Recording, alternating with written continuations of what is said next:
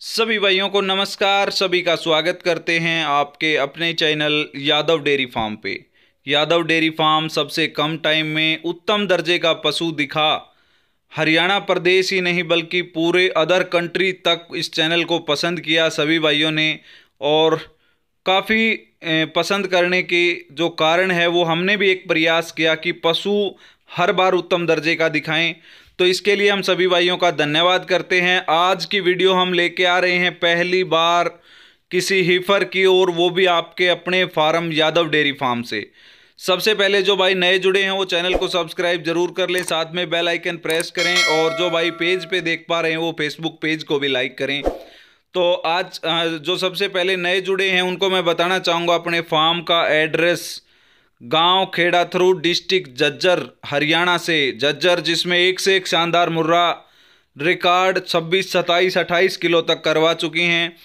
तो हमारा जो फार्म रेवाड़ी नारनौल रोहतक और भिवानी से 50 से 55 किलोमीटर की दूरी पे है और कैमरे के सामने पहली बार काफ़ी लंबे टाइम से इस कटड़ी के पीछे हम घूम रहे थे और आज ये हमारे फार्म पे आ चुकी है। बहुत ही बेहतरीन क्वालिटी एम ट्वेंटी नाइन का सीमन लगवाया था और जो बोलने में और क्वालिटी में सभी भाई आंकलन कर सकते हैं। बिल्कुल छोटा सींग फुल साइज़ बिल्कुल जेड ब्लैक कलर टेल नीचे से डेढ़ इंच वाइट क्योंकि इसकी जो मदर का मिल्क सेकंड टाइम में 20 किलो और काफ़ी मुश्किल से मिली है कटड़ी अच्छी खासी लागत भर के। लेकिन चाहे हमारे फार्म पे रहे, चाहे किसी भाई के पास जाए, जो शौकीन बंदा इसको रखना चाहता है शौक के तौर पे एक मुर्रा अपने घर पे।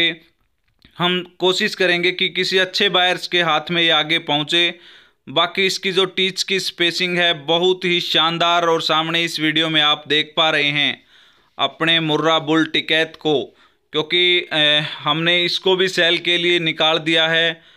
जगह के अभाव के कारण सेल परचेज में बुल काफ़ी अच्छा तैयार हो चुका है और काफ़ी भाइयों की डिमांड थी कि अच्छे रिकॉर्ड वाली भैंस का कटड़ा। तो सबसे पहले फोकस इस कटड़ी पे करवा रहे हैं। ये देखिए, बहुत ही प्यारी, बहुत ही छोटा हेड छोटा सींग और लंबा फेस जो एक मुर्रा के करेक्टर हम तलाशते हैं, वो इस कटड़ी के अंदर है। साथ में आज टिकैत जो हम आपको दिखा रहे हैं इस वीडियो में, इसका एक कारण कि काफ़ी भाई बोलते हैं कि बीस किलो दूध हो, पच्चीस किलो कंप्लीट, पूरा उसको पिलाने से काफ तैयार होता है, नहीं। जिस तरह से हमने कटड़ी नगीना तलाशी है, उसी तरह से हमने अपने इस मुर्रा बुल टिकैत को बगैर जो मदर, इसकी मदर एक महीने की एज थी, उस टाइम पे डेथ हो गई थी।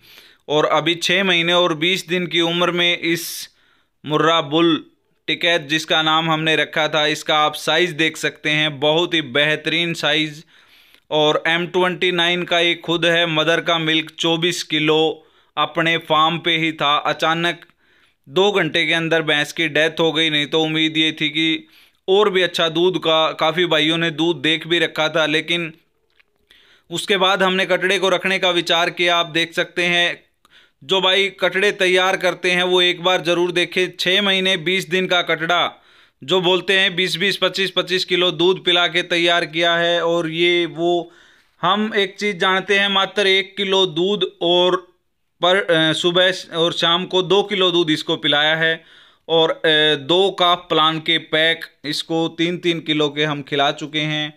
बाकी तेल वगैरह कुछ भी नहीं दिया है काफ की ग्रोथ, जो बुल तैयार करने वाले हैं वो देख सकते हैं। मदर बहुत ही छोटे, सींग की थी अच्छा साइज़ था और कटड़े का भी साइज़ जिस हिसाब से है, आने वाले टाइम में अच्छे अच्छे जो कटड़े हैं, उनके पास में अगर खड़ा होगा तो अलग ही दिखेगा।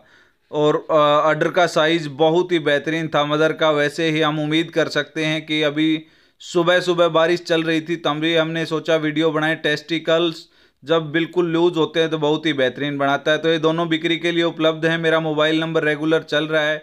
वीडियो अच्छी लगे तो शेयर करें। सभी को मेरी तरफ़ से नमस्कार।